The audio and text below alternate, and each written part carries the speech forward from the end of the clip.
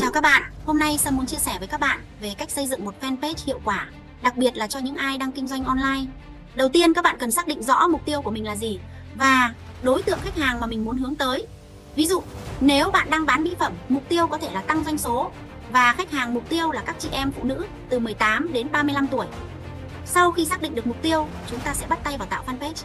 Hãy chọn một cái tên dễ nhớ và chọn danh mục phù hợp, chẳng hạn như sản phẩm, dịch vụ làm đẹp. Đừng quên sử dụng hình ảnh đại diện và anh bìa thật chất lượng nhé. Ví dụ như logo thương hiệu của bạn và một hình ảnh sản phẩm đẹp mắt. Ngoài ra, phần mô tả cũng rất quan trọng. Hãy viết ngắn gọn nhưng đủ sức hút. Điều này sẽ giúp thu hút sự quan tâm và giữ chân khách hàng. Và để fanpage của bạn nhanh chóng được biết đến, hãy bắt đầu bằng cách mời bạn bè like trang và sử dụng thêm Facebook Ads để mở rộng phạm vi tiếp cận. Một điểm nữa mà mình muốn nhấn mạnh là tương tác với khách hàng. Khi khách hàng nhắn tin hay bình luận, hãy trả lời họ nhanh chóng. Ví dụ, nếu có ai đó hỏi về cách sử dụng sản phẩm, bạn có thể hướng dẫn cụ thể và giới thiệu thêm các sản phẩm bổ trợ nếu có. Cuối cùng, đừng quên theo dõi các thống kê trên fanpage để tối ưu hóa nội dung. Nếu bạn thấy bài viết nào được nhiều người quan tâm, hãy tiếp tục phát triển thêm nội dung tương tự. Hãy luôn cập nhật xu hướng mới để fanpage của bạn luôn tươi mới và hấp dẫn nhé.